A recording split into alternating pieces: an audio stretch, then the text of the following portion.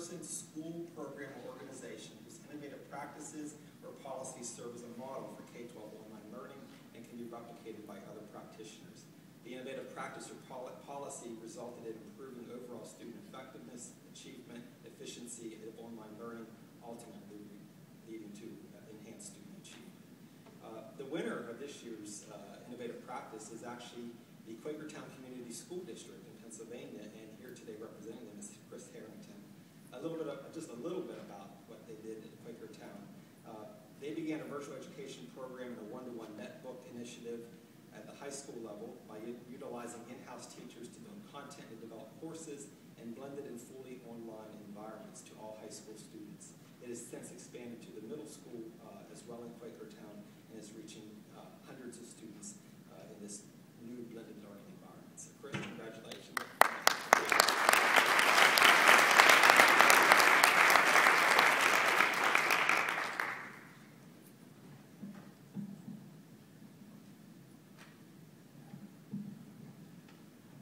This is the first time I've ever been asked to write a haiku. Please be kind.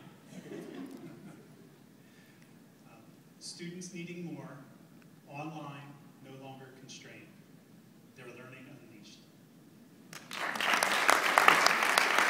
Uh, the- the- The program that we put in place is, was a massive undertaking. It still is a massive undertaking.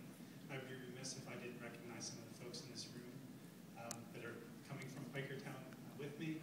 Um, We have Todd Silius and Nicole Pappas. You can stand. And Jackie Kelly. Aaron Shannon in the back.